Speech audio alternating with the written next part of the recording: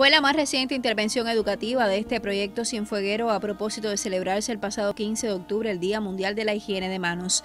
En la sala de hematología del Hospital Pediátrico Universitario Paquito González Cueto intercambiaron con familiares, pacientes y trabajadores acerca de la importante práctica que previene a nuestro cuerpo de adquirir varias enfermedades. El quehacer participativo de sus miembros les ha llevado a diferentes espacios comunitarios con el fin de promover la correcta manera de higienizar las manos.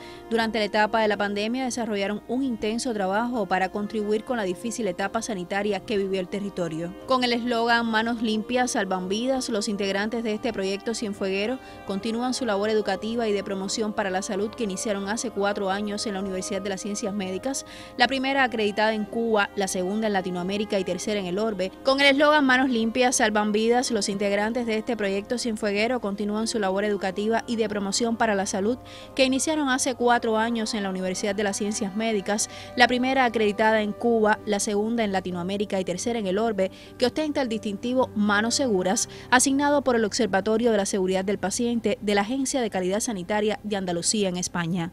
Mayelín del Sol, Notisur.